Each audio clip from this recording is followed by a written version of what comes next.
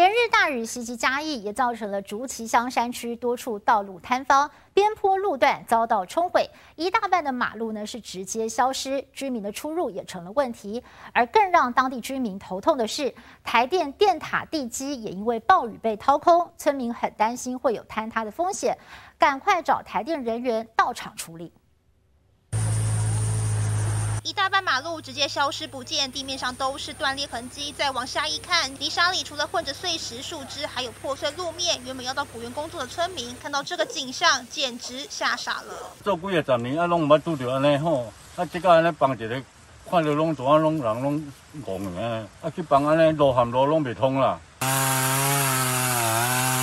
村民只能先想办法将受害较轻微的道路恢复通行。嘉义竹崎乡水社寮往光华村路面发生坍方，沿路还有树木倒塌，居民出路成了问题。